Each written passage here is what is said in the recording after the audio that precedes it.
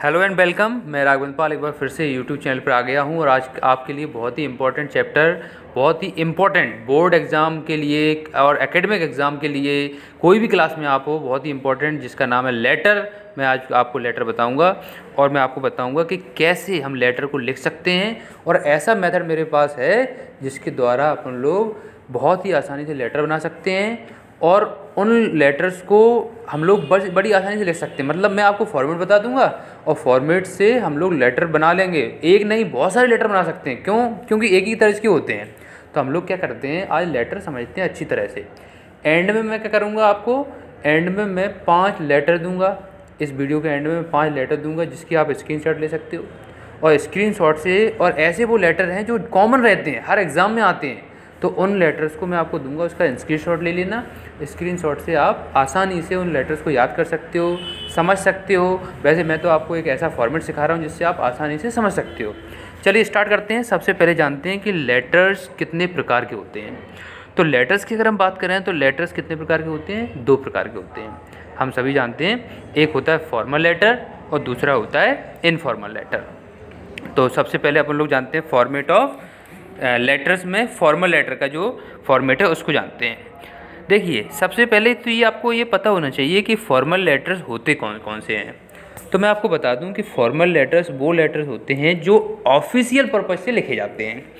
Official purpose यानी कि official purpose का मतलब होता है, अगर हम कलेक्टर को लिख रहे हैं एडिटर को लिख रहे हैं मैनेजर को लिख रहे हैं डायरेक्टर को लिख रहे हैं, किसी भी ऑफ़िस के से संबंधित हम किसी भी ऑफिसर को लिख रहे हैं, उस लेटर को बोलते हैं फॉर्मल लेटर तो फॉर्मल लेटर हम लोग बनाते कैसे हैं?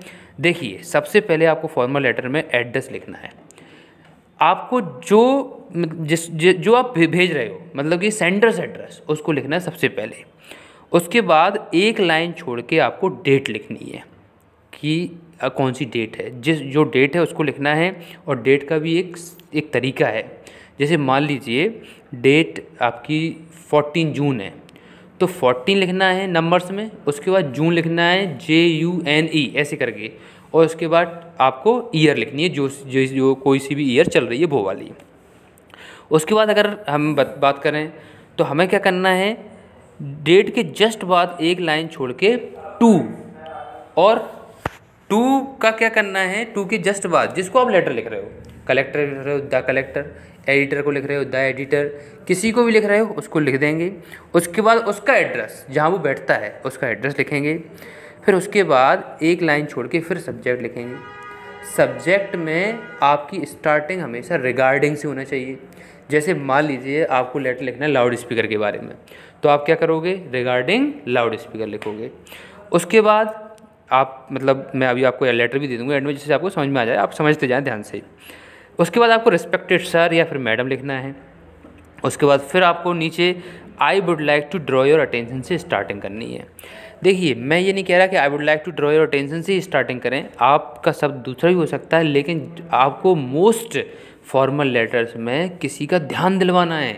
कोई प्रॉब्लम के लिए आप लेटर लिखोगे तो कोई प्रॉब्लम के लिए लेटर लिखोगे तो उसको आप उसका ध्यान दिलवाने के लिए एक शब्द यूज़ करोगे I would like to draw your attention तो आपको स्टार्टिंग करनी है I would like to draw your attention से।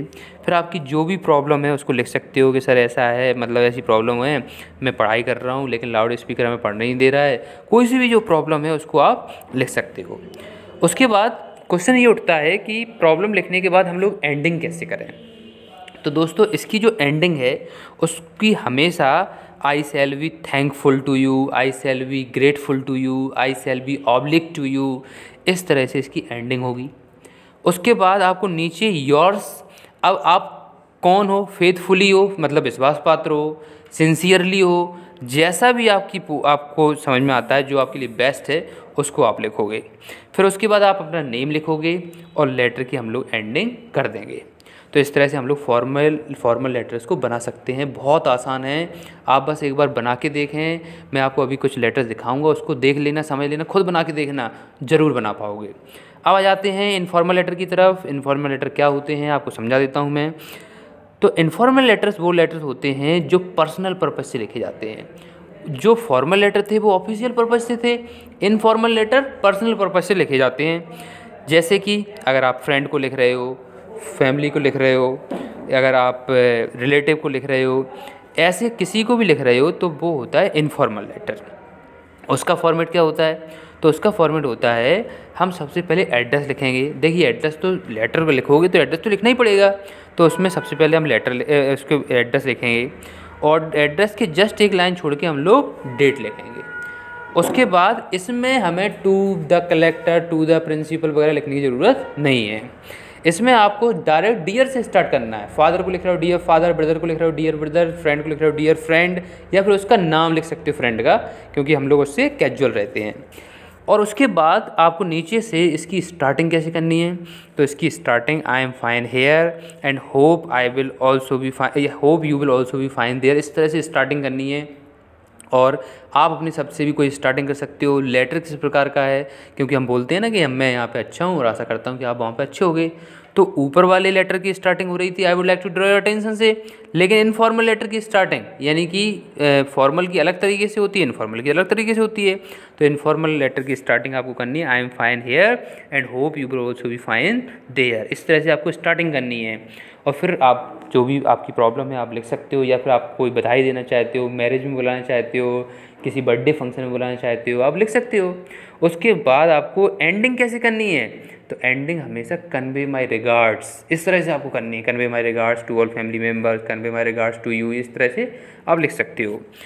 और उसके बाद योर्स तो ध्यान रखना कि ऊपर वाले में सिंसियरली फेथफुली इस टाइप के चल सकते हैं। लेकिन नीचे वाले में हमेशा yours your loving brother your loving son your true friend इस तरह से आप लिखोगे। और उसके नीचे नेम इस तरह से आप लेटर बड़ी आसानी से बना सकते हो और कितने भी लेटर बना सकते हो। आपको मैं कुछ लेटर दिखा रहा हूँ। देखिए स्क्रीनशॉट ले लीजिए अच्छी तरह से। पहला लेटर। ये रहा पहला लेटर और आसानी से हम इसको बना सकते हैं। ये लाउड स्पीकर के ऊपर ये लेटर है। आराम से देखिए इसकी स्क्रीनशॉट ले लें और आप इसको इसको आ, समझ सकते हो कि कैसे हम लाउड स्पीकर के ऊपर लेटर बनाएँ। दूसरा लेटर ये रहा आपके सामने। ये लेटर है माल फंक्शनिंग का किसी भी गवर्नमेंट हॉस्पिटल में अगर काम सही नहीं चल रहा है, उसके ऊपर ये लेटर है, इसकी स्क्रीनशॉट ले लीजिए और अच्छे से आप पढ़ सकते हो, तैयारी कर सकते हो।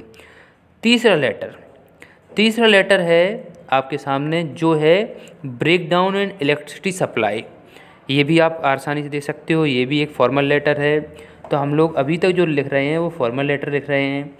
अगर मैं, अगर बात करूँ इनफॉर्मल लेटर की तो एक ये ले लीजिए, हमारे सामने एक इनफॉर्मल लेटर भी है। जो आप, मान लीजिए अपने दोस्त को भेज रहे हो तो दोस्त में समर वैकेशन में उसको बुला रहे हो, ये वाला आपके लिए फोर्थ लेटर है, आप आसानी से इसको देख सकते हो, ये आपके सामने है लेटर और एक और लेटर लेते हैं मैरिज पार्टी का, अपने दोस्त को आप मैरिज पार्टी में बुला रहे हो, इसका देख लीजिए, पाँचवा लेटर आपके सामने है, इसका आप स्क्रीन ले लीजिए, अच्छे से आप समझ सकते हो, ये पाँचों लेटर हमारे सामने हैं, और आप आसानी से अपनी लेटर की क्षमता को बढ़ा सकते हो, और अच्छा कर सकते हो। अगर आपको वीडियो अच्छा लगा, फटाफट शेयर कर दो उन लोगों को जिनको ज़रूरत है। बोर्ड एग्ज़ाम की तैयारी कर रहे हैं एकेडमिक की तैयारी कर रहे हैं, किसी भी क्लास में हो, उनको शेयर कर दीजिए और नीचे लाल बटन जो दिया है, उसको सब्सक्राइब कर लीजिए मैं आपके लिए बहुत ही अच्छे अच्छे वीडियो लेके आता रहूँगा। Thank you very much